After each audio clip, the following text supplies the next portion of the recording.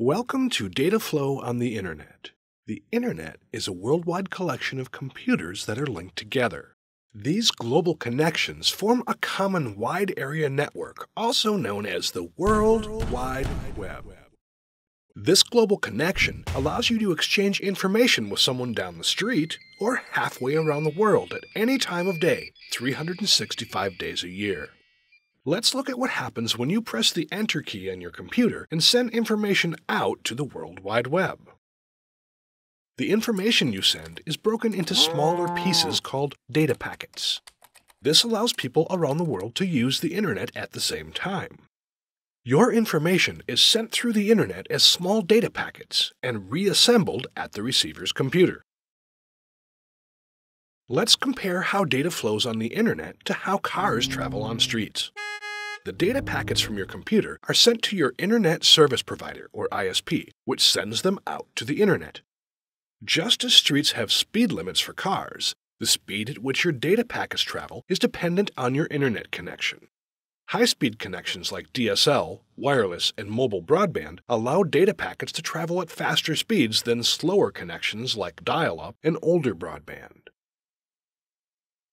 The speed at which your data packets travel is also dependent on the size of the data packets. Just like large trucks take longer to get up to speed and may travel at a slower speed, larger data packets travel more slowly and take longer to reach their destination. Each data packet contains a piece of your original information, as well as your IP address and the address for the destination computer. It may also contain a sequence number if the application you use to send the information is guaranteeing its delivery. The data packets may also contain other bits of information needed for controlling and checking their content. Just like cars may use different roads within a highway network to reach the same destination city, your data packets may use different routes within the internet network to reach the same destination computer. In this example, all of the red cars have the same IP address. This means the cars have the same origin and destination. They are, however, all traveling on different paths to reach that destination. The Internet is a series of many interconnecting networks. To help manage traffic on your local roads, a traffic cop directs and monitors traffic. The Internet uses a router as its traffic cop. The router determines the best path for the data packets depending on the speed and number of other traveling data packets. Internet routers regularly communicate with each other so they know what routes provide the fastest delivery. These routes are stored inside the router's memory and are called routing tables. Just as traffic patterns can vary because of the amount of traffic, construction, and road conditions, Internet patterns can also vary depending on the amount, size, and type of data being sent. This means that your data packets may not always take the same path to reach their destination. In fact, some data packets may arrive out of sequence because of delays or they may not arrive at all.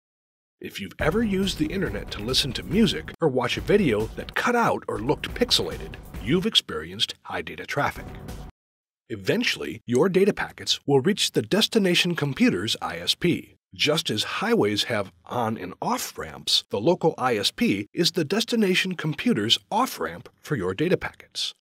All ISPs have their own router that knows the final path to the destination computer. While these routers do interact with the internet, their purposes are to know the fastest routes to the customer's computers and provide an on and off ramp to the internet. When your data packets arrive at the destination computer, it starts the process of reassembling the packets. If the packets contain sequence numbers, the computer assembles them in the correct order and requests the retransmission of any packets that were lost during the journey. This concludes our journey of data flow over the internet. A few key points to remember are all data is broken into smaller parts for transmission over the internet. Not all data packets take the same route between the sending and receiving computers. The application used to send the information determines if the delivery of the data packets is guaranteed. The speed at which data packets travel is affected by internet traffic. You have completed data flow on the internet.